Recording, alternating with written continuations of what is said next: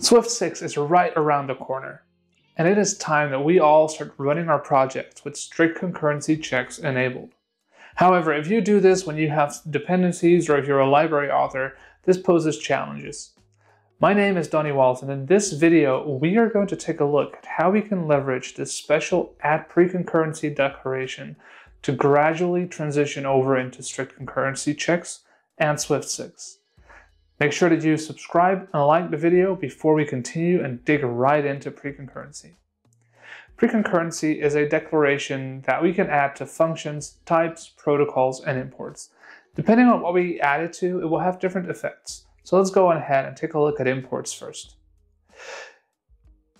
We can write add preconcurrency import statements for modules that don't adopt strict concurrency yet. For example, you might be using a module in your project and you want to adopt strict concurrency already, but that module that you're importing does not have everything enabled or set up for strict concurrency yet. Maybe they haven't adopted sendable yet, or maybe they're not using actors where they should be using actors.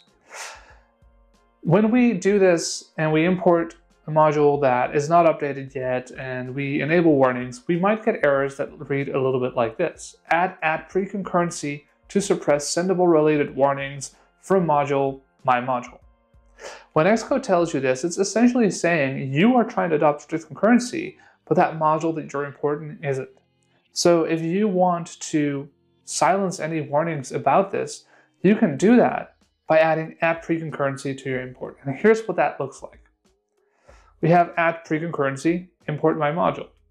And as soon as we add that to our file, for that specific file and that specific import, Xcode knows that any sendability related errors from that module or its types should be suppressed because we do not own that module and we do not want to have our compile prevented by something that we don't own and we don't control. This is especially useful if you, you can't make any changes to your code. For example, you're using Apple's built-in frameworks that are not updated yet, or something that is completely owned by a third party. You can go ahead and fix your own errors and warnings in the meantime while you wait for somebody else to update the module that you don't own, which is really, really useful. So that's add preconcurrency import. Let's see what it means to add preconcurrency to types or functions or enums or really anything at all. When we do that, we are library authors. But if you're making an app, you're probably not going to be adding pre-concurrency to your classes or to your uh, to your functions because you're not shipping a module that needs to be used by somebody else. Right? So if you're a library author or an SDK developer or something like that, and you want to start adopting strict concurrency, you're going to be exposing functions and classes that you have now made sendable or that you've maybe added a main actor annotation to.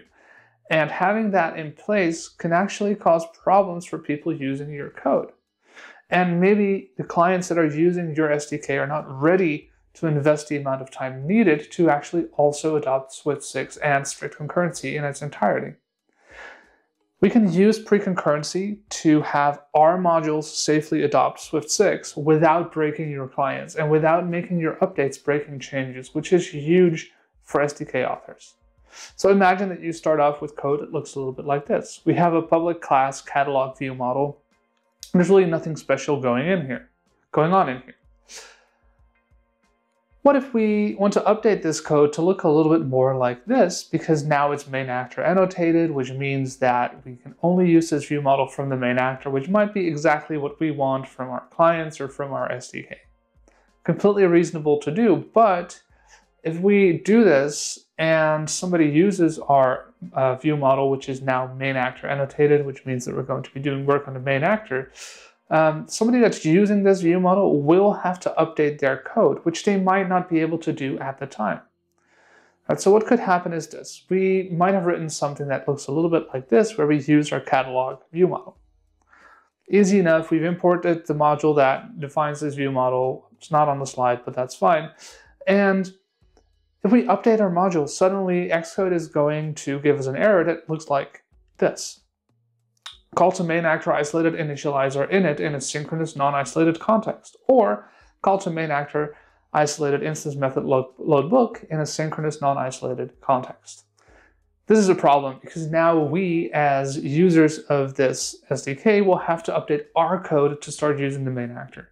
And that can snowball into having to make many, many changes to a project, and we might not be ready to do that. So it's a pretty serious breaking change to start adopting uh, modern concurrency uh, for your SDKs if you cannot support older ways of doing things. So if we add pre-concurrency to our uh, view model, which looks like this, add pre-concurrency actor public final class, now any project that imports this module will not have any problems using our uh, model without concurrency. Right, so as long as my project does not opt into strict, strict concurrency checking, I can use modules that have opted in and that are using the main actor without having to update myself. So that's really nice. Once I enable the checks though, I will get warnings and errors, so I will have to fix them at that point. But until then, I can continue to use my newer versions of dependencies without those new main actor annotations and everything breaking my app. Because what will happen is the compiler will actually treat our module or our function or class as if we've never applied the main actor or sendability at all. Right? So when we build this module for a project that doesn't use strict concurrency checking, the compiler is simply going to remove that main actor annotation altogether. At least call site facing, and so we won't know it's there. And that means that we're going to have a stable ABI, which means that we can use this dependency without having source breaking changes after the dependency adopted strict concurrency. So if you're a library author, you'll really want to think about applying pre-concurrency to your classes, functions, and everything else to make sure that people using your code are able to do that without having to make significant changes to their own code base. Let's summarize. We can use pre-concurrency imports when we want to update our own project, but not all of our dependencies have been updated yet. So we can tell the compiler, we know that this is not updated, but it's not ours, this is a pre-concurrency module, so please do not bother me about any warnings resulting from that module. And on the other side of the spectrum, we have library authors who can mark their objects and functions and everything with pre-concurrency so that they can actually start adopting sendability and actors without breaking their clients, which can be really, really useful. I hope this video was informative to you. Make sure to hit that like button, subscribe button, and everything else and I will see you in the next one.